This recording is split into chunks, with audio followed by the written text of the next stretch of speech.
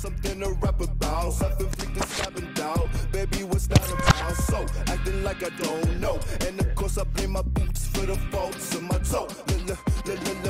Living life in the days I don't.